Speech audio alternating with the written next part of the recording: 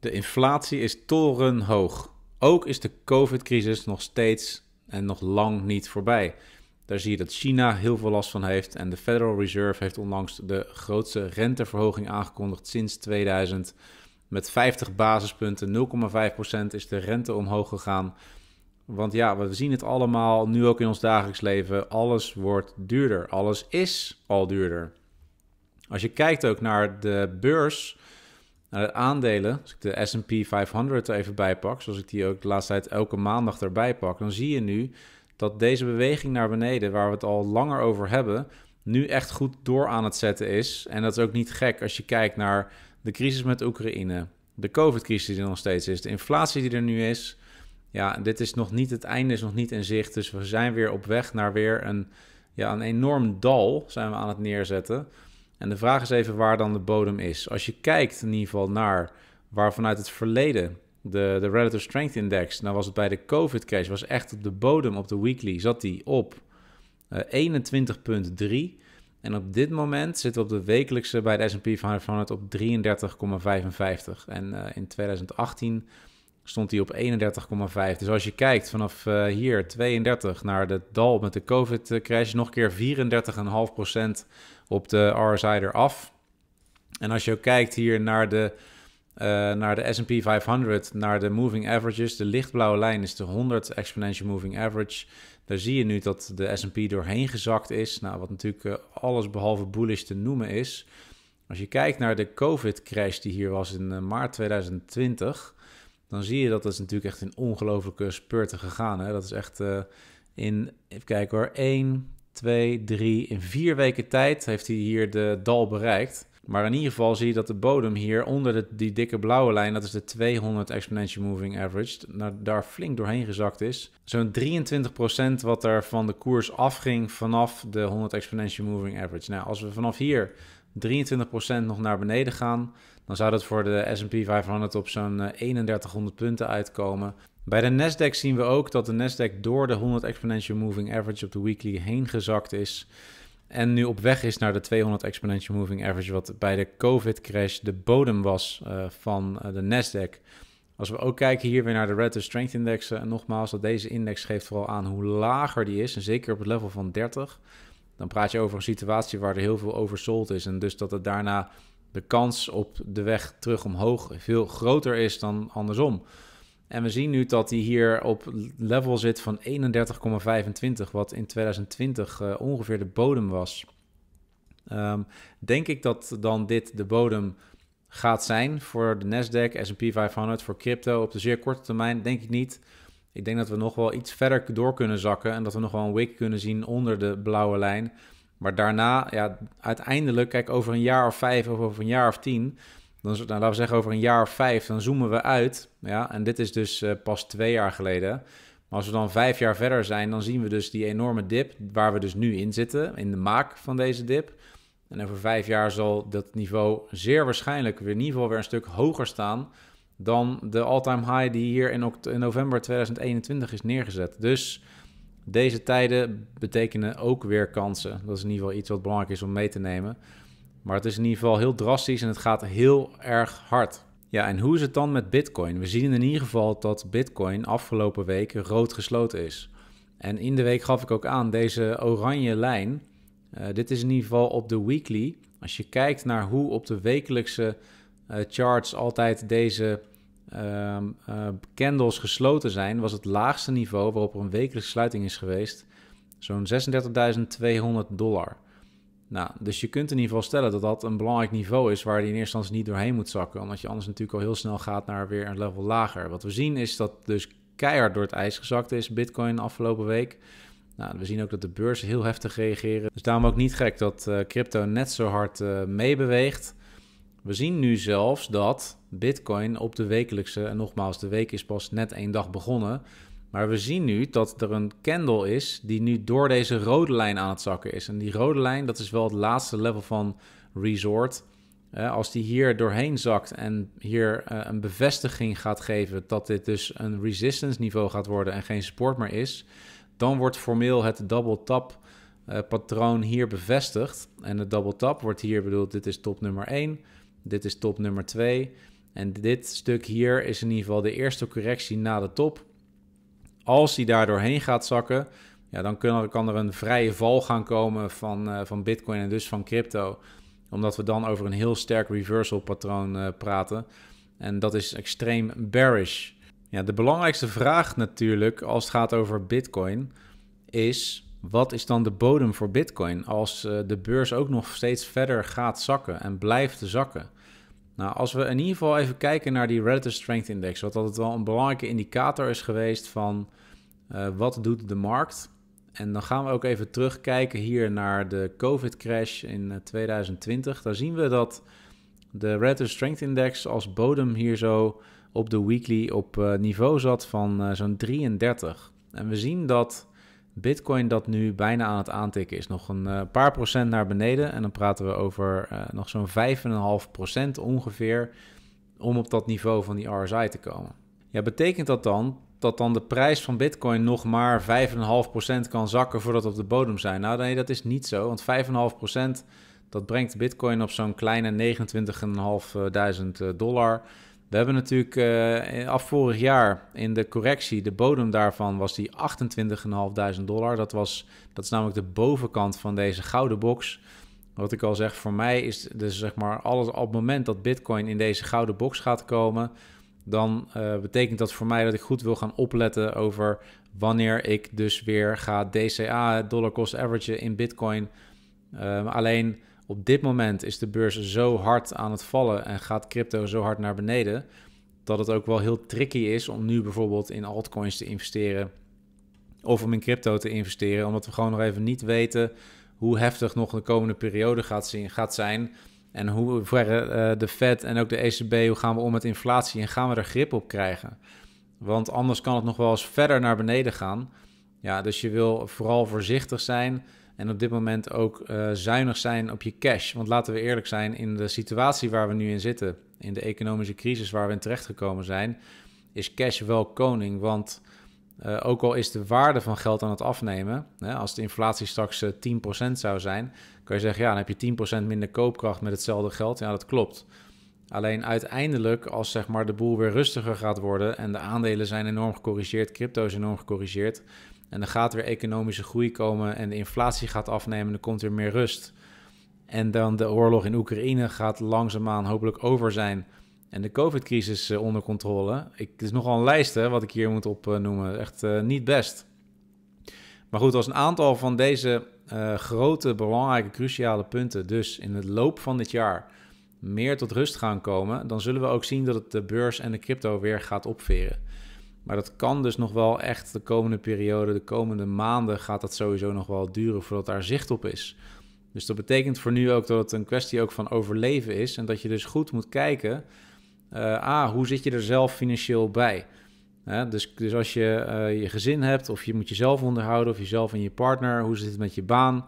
Is daar nog zekerheid? Uh, hoe zit het met je inkomsten, je uitgaven? Heb je overzicht daarvan? Hou je voldoende geld over? Alles wordt natuurlijk duurder.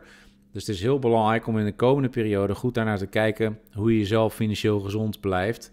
En dus ook dat je zorgt dat je wat cash hebt, ook om jezelf te kunnen onderhouden, mochten nog andere tegenslagen over je heen gaan komen financieel. Ook zijn deze tijden waarin de beurs en crypto zwaar onder druk staan, natuurlijk weer een hele mooie mogelijkheid in de nabije toekomst, op het moment dat we weer de, uh, naar boven toe gaan bewegen. Voor mensen die nog niet zijn gestart met crypto of nog niet zijn gestart met beleggen, zijn dit wel gouden kansen die in het komende jaar voor het oprapen liggen om in ieder geval te beginnen met beleggen, waarin je straks dus voor een veel lagere koers in ieder geval je eerste uh, fondsen kunt gaan inslaan. Of je eerste stukje crypto of, of welke asset je dan ook zou willen beleggen die enorm gedaald zijn in deze recessie.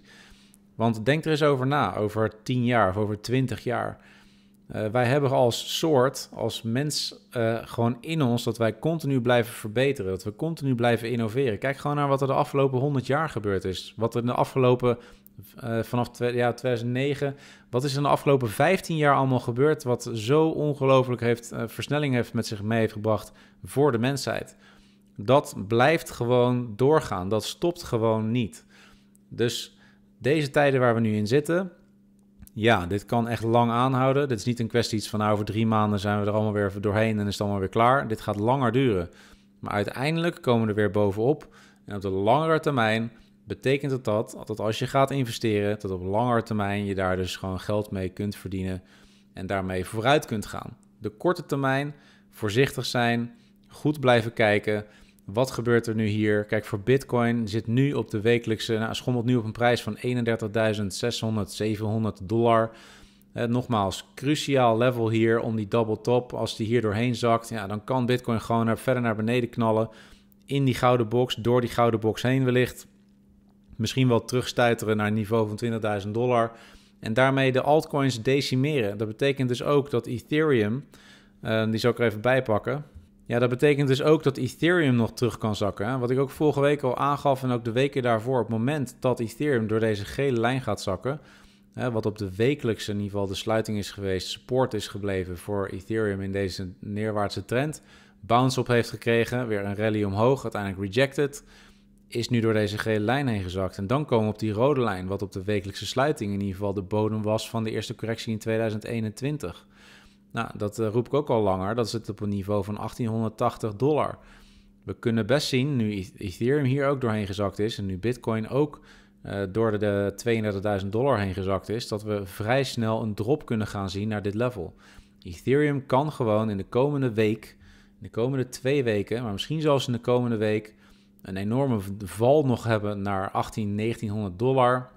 En misschien daarna nog verder zakken naar die 200 exponential moving average, die blauwe lijn, wat je ook uh, net zag bij uh, de, de Nasdaq en de S&P 500, dat in de bearmarkt, de bodem van de bearmarkt, zelfs een week gewoon net onder die blauwe lijn gaat komen. Onder de 200 exponential moving average.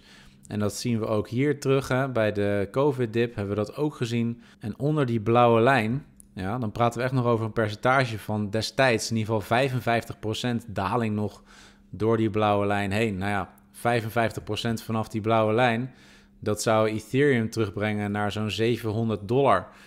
Um, als dat gebeurt, is dat natuurlijk eh, een hartstikke mooie mogelijkheid om bij te kopen. Maar ja, niet zo leuk als je Ethereum misschien hebt gekocht op uh, eh, 3000 dollar of 2500 dollar. Hè? Want uh, vanaf hier, vanaf 2500 dollar terug naar zo'n 700, ja, dan ben je toch 70% van je investering op papier. Je bent het pas kwijt als je het gaat verkopen, dan realiseer je verlies. Maar dan heb je toch een ongerealiseerd verlies van zo'n 70%. En voordat je dan weer van die 700 terug bent op dat niveau, ja, dan, zou het, dan moet het weer stijgen eerst met 230% En dat gaat natuurlijk ook niet in, een, in een paar weken gebeuren. Maar dit zijn wel levels in ieder geval om heel serieus te nemen. En dus zeker als Ethereum deze rode lijn niet gaat houden, als hij niet boven die 1886 dollar blijft, ja, dan ben ik toch bang dat Ethereum nog een enorme val kan maken terug naar lagere levels en dus onder die 1000 dollar kan gaan komen als dat gebeurt. En Wanneer gebeurt dat? Nou, dat gebeurt als de inflatiecijfers niet onder controle komen. Als de oorlog met uh, Oekraïne en Rusland, als dat nog veel langer gaat duren en uh, nog andere escalaties met zich mee gaat brengen. Als de COVID-crisis niet snel uh, onder controle komt in China, die met hun zero tolerance beleid mensen tot wanhoop drijven in Shanghai, als je die beelden hebt gezien. En dat zorgt gewoon voor heel veel instabiliteit in de markt op dit moment. Dus heel veel logistieke ketens blijven verstoord. Plus door de inflatieaanwakkering vanwege de oorlog Rusland-Oekraïne. Nou ja, uh, is gewoon echt een, een groot probleem op dit moment. En dat zorgt dus dat de beurzen en crypto zo zwaar onder druk staan.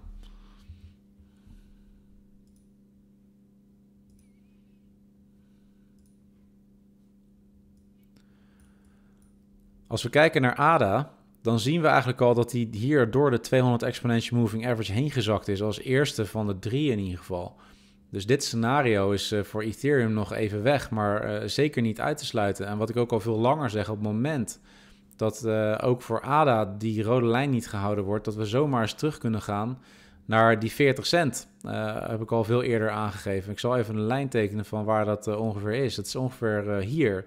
En je ziet dat dat vanaf waar het punt waar ADA nu zit, is dat ja, nog maar, zeg ik even, 39% naar beneden.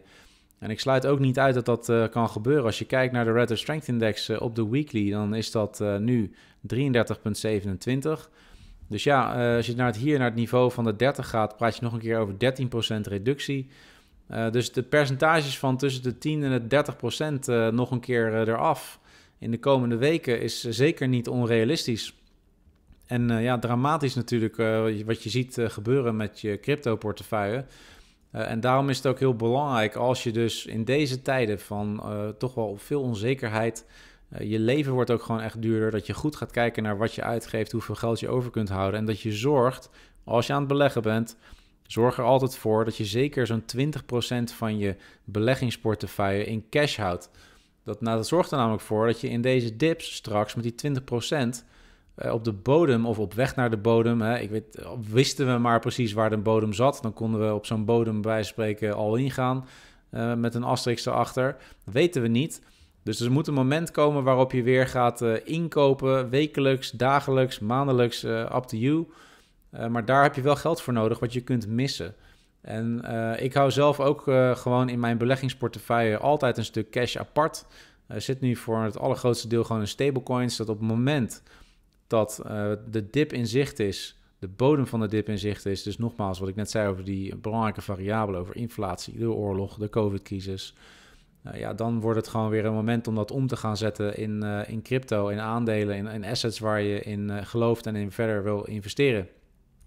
En als je op dit moment denkt, ja, ik heb geen cash meer om straks bij te kopen, dan is het gewoon wel belangrijk dat je gaat zorgen dat je in de komende periode cash gaat overhouden, als dat kan. Maar focus in ieder geval natuurlijk op je basisbehoefte dat dat goed op orde is. Nou, als we dan nu kijken naar de CRO-token, Kronos, Crypto.com, uh, gaf ik ook aan dat een correctie best wel eens terug zou kunnen gaan naar 21 cent. Nou ja, CRO-token zit nu op 22 cent, dus dat is nagenoeg gebeurd. Natuurlijk met het nieuws dat de, de rewards op de token gaan versoberen per 1 juni. Ongelooflijk slechte communicatie van het bedrijf. uiteindelijk twee keer toe een correctie om de mensen tegemoet te komen. Maar je ziet in ieder geval die enorme drop in prijs hier. Je zit eigenlijk gewoon weer terug bij af. Terug bij af naar waar we in november 21 zaten op 22 cent. En ook hier is dit de bodem. Nee, ik denk niet dat dit de bodem is. Ik denk gezien de, de situatie, uh, Bitcoin gaat nog, waarschijnlijk nog verder zakken. Uh, CRO gaat daar gewoon in volgen. Dus ik denk dat de prijs van CRO zomaar eens terug kan gaan naar. Ehm, nou, als ik, ik denk dat die prijs nog wel een keer in tweeën zou kunnen. dus als we de prijs ongeveer op 11 dollar cent zetten, ik denk dat dat best realistisch is dat dat gaat gebeuren. We zien dat in ieder geval de, de RSI zit hier op 37. Dus die heeft tot aan dat niveau van die 30 in ieder geval nog zo'n 20% te gaan. Nou, laten we even zeggen dat als ik, als ik 20% hier van de prijs afhaal, dan zit je op een prijs van 17,5 dollar cent. Maar goed, als we echt nog even verder naar beneden klappen en uh, in de komende 3, 4 weken, dan zou die 11 cent helemaal niet gek zijn dat het realistisch is om aan te tikken. Nogmaals, wanneer de bodem in zicht is, weten we niet. We gaan natuurlijk wel wekelijks blijven volgen wat er gebeurt. Maar uh, op de korte termijn verwacht ik nog niet een bounce. Er kan altijd weer even iets van een fake-out komen of wat dan ook. Maar ik denk niet dat er veel volume gaat komen. Kijk maar, dat kun je ook hier zien. Hè? Je ziet sowieso hier vier rode candles op een rij. Vier weken wordt er gewoon al verkocht. er is gewoon nul interesse om bij te kopen, te investeren. En dat zien we natuurlijk in de algehele markt zo. En daarom gaat het ook zo hard naar beneden. Als laatste wil ik nog even stilstaan bij VeChain. Uh, ook al vaker behandeld. En een tijd geleden teken ik deze gele lijn. Die, uh, 0, eigenlijk die 2,2 cent, bijna 2,3 cent. wat een niveau zou zijn waar ik weer heel erg zou gaan opletten. Ook om bij te gaan kopen. Nou, we zien dat eigenlijk deze neerwaartse channel. Dat die nog steeds relevant is. Maar de bovenkant daarvan al lang niet meer wordt gehaald. Wat ik ook zeker niet verwacht dat op korte termijn gaat gebeuren. Er zou bij wijze van spreken nog een rally kunnen gaan plaatsvinden tot uh, deze rode lijn. Uh, wat op de korte termijn ook al onwaarschijnlijk is. Dus waarschijnlijk zal deze lijn eerder nog verder naar beneden zakken, deze kant op. Omdat gewoon de hele markt op dit moment zo aan het reageren is. Ja, hoe lang, uh, hoeveel zit er nog van, van hier naar die, naar die 2,2 cent? Nou, nog een keer 43% eraf. Want ja, hoeveel zitten van de RSI nog naar die 30? Dan praat je op nog zo'n 21%. Nou 21% hier dan nog een keer af, dan zit je op 3,1 eh, cent. Uh, in ieder geval, het ziet er gewoon zeker niet rooskleurig uit. Uh, als we uitzoomen en we kijken naar de, naar de hele map, ook hier zou het niet gek zijn om een bounce te gaan zien op deze lijn van die 2,3 cent voor VeChain. Uh, ja, om uiteindelijk te zien wanneer komt de stabiliteit in de markt terug. Dat is gewoon nu de grootste vraag. En tot die tijd dat dat er is, zal je zien dat de beurzen en de crypto dus blijven dalen. Maar ook hier geldt weer, perspectief vooruitkijkend naar de toekomst toe, stel dat ook al gaat VeChain uiteindelijk terug naar 2,2 cent. En is straks de interesse in crypto misschien wel weer heel erg uh, afgenomen. Dat was namelijk in 2017 ook zo. Toen de boelmarkt voorbij was, was iedereen klaar met crypto. Alles was 95% gezakt in waarde. En dan is het een tijdje stil. En dan in één keer komt weer de volgende stap uh, in adoptie. Komt er weer meer interesse, gaan de prijzen omhoog, gaan mensen weer terugkomen, instappen, gaan de prijzen weer verder stijgen. En dat is ook wat straks met de beurs gaat gebeuren. Dus kijk ook even zo dat, stel dat, even als voorbeeld als VeChain, we zitten op die 2,2 cent. En je zou hier 1000 euro in investeren naar de toekomst toe. En we zetten straks voor VeChain een all-time high neer. Dan ben je dus 1253% in de toekomst gestegen. Ja, dus dat is gewoon 12,5 keer je inleg. Dus kijk ook even naar de potentie naar de toekomst in dit soort uh, markten. Wat natuurlijk zeker niet leuk is, omdat je de waarde van je portfolio ziet blijven dalen. Met enorme stappen zelfs. Uh, maar daarom is het ook zo belangrijk om te zorgen dat je altijd cash achter de hand houdt. Wat je gebruikt voor je beleggingen en niet om spullen mee te kopen los van je investeringen. Dan eindig ik deze video met een klein stukje zelfreflectie eh, op deze boelmarkt die we gekend hebben eh, in 2021 en nog een, eh, een nasleep eh, later in 2021. toen ik in 2021, in augustus 21, een video maakte over mijn exit-strategie. vele van jullie hebben die ook bekeken. Als je hem nog niet gezien hebt, ga hem zeker ook even kijken. Waarin ik ook aangeef dat het altijd verstandig is op in de weg omhoog, ook in een toekomstige boeren, dat je op de weg omhoog op een gegeven moment ook al een stukje winst gaat nemen en bijvoorbeeld vastzet in stablecoins of in euro's of in dollars. Of bijvoorbeeld in ETF's. Ook al hebben ETF's het natuurlijk nu ook zwaar in deze economie, maar die gaan een stuk minder hard naar beneden dan crypto. Als we nu kijken waar we zijn op de soort van het kompas eh, van, eh, van Bitcoin. Als we kijken naar bullmarkts waarin uh, ja, de, de hoogste band van deze VIP-levels, die witte lijn, is aangetikt in 2013 en in 2017, maar zeker niet in 2021. Dus je kunt ook stellen, hè, dit is een logaritmische chart. Daarom is het, uh, als het lineair zou zijn, dan zou die grafiek niet op mijn scherm, uh, op mijn scherm passen. Want je gaat natuurlijk van een paar dollar naar uh, praktisch 80.000 dollar. Dan zie je ook dat de, hoeve, de stijging daarvan wat aan het afvlakken is. en dat zien we in een exponentiële grafiek ook. Dus als we dat door zouden zetten naar de toekomst toe, dan zou dat kunnen betekenen dat dus die gains van, van crypto wat gaan afvlakken. Uh, al zou het zo zijn dat in de toekomst op basis van deze VIP-levels, al zou die de piek halen in 2023. Eh, hè? We hebben krijgen in 2003, of sorry, 2024 krijgen we een nieuwe halving van Bitcoin. Dus stel je voor dat hij de bovenkant, ja, dan, dan praat je al dus in 2024. Uh, eh, pakken we gewoon even mei 24, dan zit je op 4 ton. Nou, dat is natuurlijk niet heel aannemelijk dat dat op zo'n korte termijn gaat gebeuren. Maar wat je wel ziet is dat als er dan de, de piek van de boelmarkt geweest is, dat er altijd een retracement is teruggekomen, terug naar het basisniveau, deze witte lijn. Daar is Bitcoin nu wel hier doorheen gezakt. Ja? Dus je kunt stellen, dat zie je ook hier bij de, de COVID-crash, ja, toen op deze witte lijn. Als je nu denkt, als je nu terugkijkt van zo, had ik op die witte lijn gekocht, zeg, ja, ik voor 7600 dollar uh, Bitcoin gekocht, was ik echt spekkoper geweest. En dus als je nu terugkijkt naar Oké, maar uh, we zitten op die witte lijn. Dat was ook hier, zie je wel, in 2018. Dat was eigenlijk best wel een heel goed moment om toen te kopen. Ik ga er in ieder geval vanuit, en dat is ook uh, historisch zo gebleken bij uh, zeker um, belangrijke assets, dat de bodem van na een boelrun, dat de bodem altijd weer hoger ligt dan, in ieder geval een stuk hoger ligt dan de bodem van de, de, bear, de bearmarkt die daarvoor lag. Dus ik verwacht niet dat Bitcoin ja, dat verwacht ik absoluut niet, terug zal vallen naar 3.500 dollar. Nee, absoluut niet. Uh, voor mij, je ziet hier dat uh, die blauwe lijn uh, qua VIP-level, dat dat hier een, een piek is geweest. Nou, dat zit op 22.000 dollar. Nou, laten we zeggen dat er nog een wick zou komen op het groene niveau. Dan praat je over 17.500 dollar. Ik denk dat de bodem van Bitcoin, als we kijken waar het naartoe gaat, en zeker als de adoptie van crypto gewoon verder blijft gaan zoals het nu aan het gaan is, en dat verwacht ik eerlijk wel, als je nog een bitcoin zou kunnen kopen van rond de 25.000 dollar straks, dan, uh, dan, dan zou ik dat echt uh, met beide handen wel beetpakken. Nou, en ik ben benieuwd. Uh, bitcoin zit nu op 31.700. dus nog een stukje te gaan om naar de onderkant van deze box te komen. En ja, gaat het gebeuren, ja of nee, gaan we zien. ik denk in ieder geval dat we de bodem nog niet, de absolute bodem nog niet gehad hebben. Dus zeker ogen open houden. Ja, Bitcoin is nu door die witte lijn gezakt. Dat betekent wel, als je kijkt naar historisch in ieder geval, een belangrijk niveau om niet te onderschatten van, oh, er gaat nog heel veel af en de bodem is nog lang niet in zicht.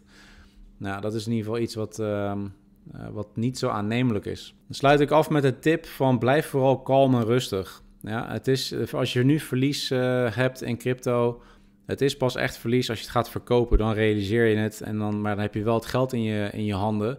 Maar dan ben je dus wel een deel van je investering echt kwijt. Uiteindelijk langer termijn beleggen, langer termijn gewoon laten staan, is gewoon een hele goede strategie gebleken. En ook in crypto, als je zelfs niet verkoopt op de piek en je houdt het allemaal vast en je gaat door de hele bearmarkt heen en komt gewoon weer een volgende boelmarkt en die gaat ook hier gewoon weer komen in de toekomst, is het volgende niveau altijd weer hoger geweest dan het niveau daarvoor. Dus uiteindelijk op de lange termijn is dat ook een manier gewoon om je geld te zien groeien. En zorg ook gewoon voor dat je voldoende spreidt ook in assets. Ga niet al in op crypto, maar zorg dat je ook gewoon bijvoorbeeld investeert in ETF's, wat altijd een hele veilige, stabiele, waardevolle manier is om je vermogen te doen groeien. Je kunt beter langzaam rijker worden dan heel snel arm, toch? Ik wil je weer bedanken voor het kijken. Vergeet je zeker niet om je te abonneren op een Rijker Leven. Laat even een duimpje achter als je weer goede content vond. Bedankt voor het kijken. Zie ik je snel weer terug in de volgende aflevering. Tot ziens.